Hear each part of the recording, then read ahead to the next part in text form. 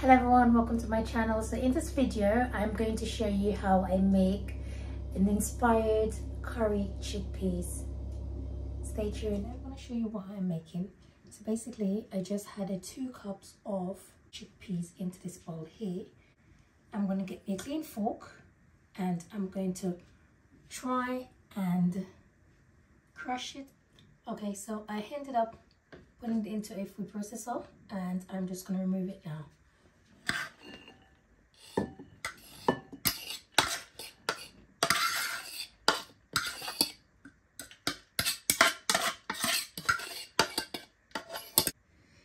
you can see it's not fully mashed or crushed. I just had the herbs and spices that I will be using.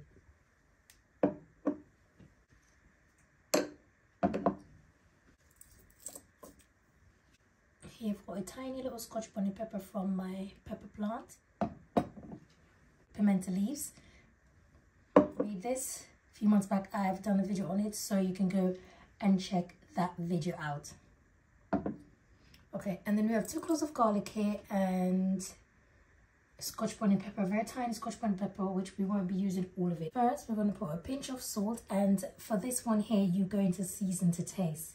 So you're going to season to taste and you also can use any herbs and spices you've got. I'm just going with a pinch of salt. So i'm using here half a teaspoon so good.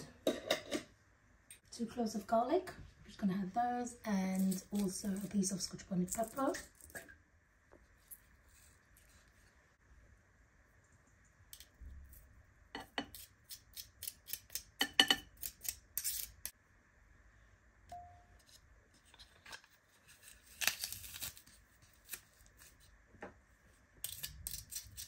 And I'm just going to add a little sprig of fresh thyme and you know me I normally use the leaves. I'm also going to add half a teaspoon of black pepper.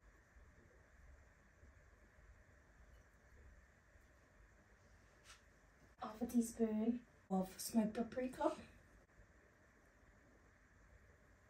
And I had a scotch bonnet pepper already. So I'm going to use my pimento so these are pimento berries. So instead of allspice, I'm just going to crush a few of these and I'm going to add those to it. If I were to use the allspice that I mentioned, so this is the one that I mentioned, yeah, allspice, and it's also pimento berries as well. Should be, yeah, hold on. So as you can see, pimento berries. Okay, so for this one here, if I were to use this one, I would go in and add half a teaspoon as well. However, I'm going to be using this one. So if you haven't got this one, use the other one, half a teaspoon. And I'm just going to use probably about five of these crushed, probably a little bit more than five because I really like the flavour of it. So I'm going with about 10. This is what I'm going in with. Half a teaspoon as well.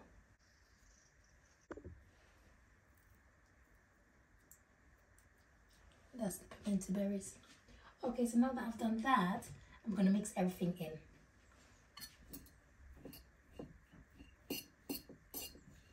I'm going to add a tablespoon of extra virgin olive oil.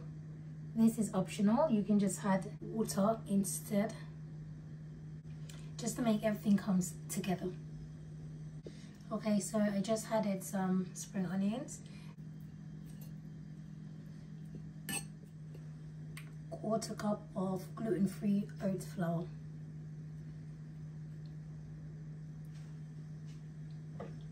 To mix everything in. I'm using my hands, making sure that everything is incorporated. I had some curry. So that's half a teaspoon and I'm going in for another half.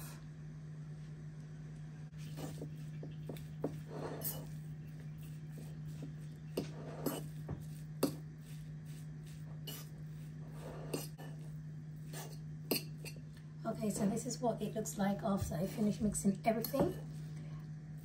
Now I'm going to leave it to sit for a while. You can leave it to sit for anywhere from 15 minutes to a day or overnight I should say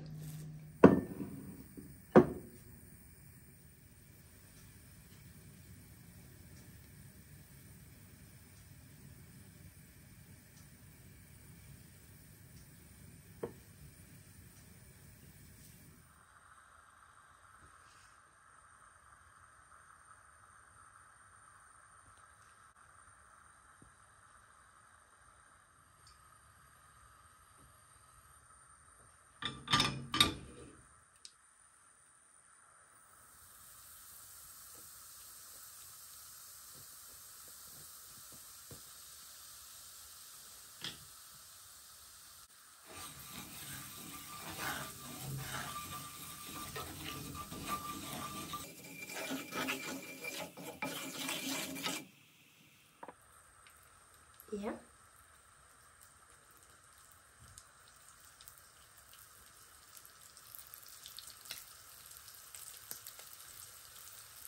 just going to allow them to get brown on one side and then flip them over and then cook the other side as well.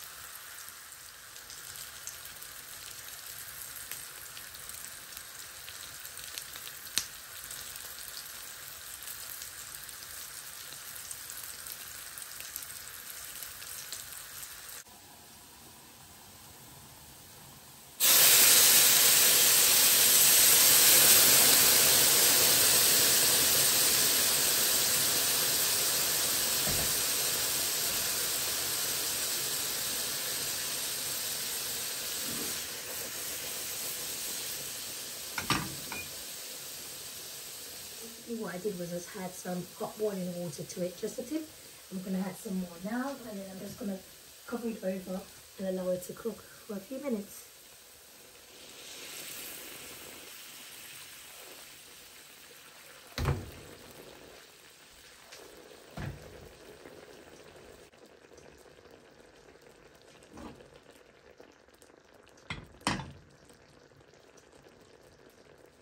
What I'm going to do now is just season to taste. I'm just going to season everything and um, just top up the gravy with some more seasoning. I'm going in with some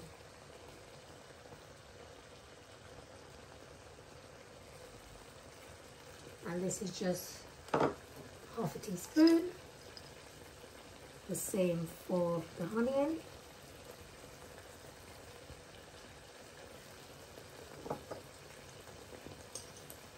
it doesn't need any more salt so I'm not going to put any more. It doesn't need any pepper either. So that's all I'm just going to add to mine just now just to season to taste.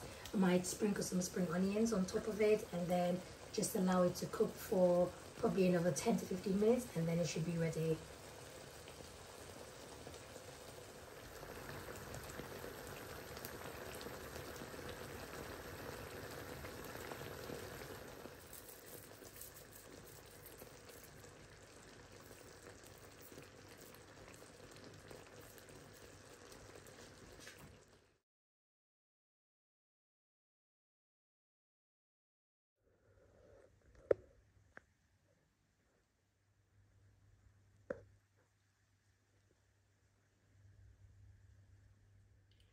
Thank you very much for watching. If you do like this video, please go ahead and give it a like. If you've got gluten intolerance, wheat allergies, celiac disease, or you're simply gluten-free by choice, please consider subscribing to my channel for more gluten-free recipes and other information about gluten.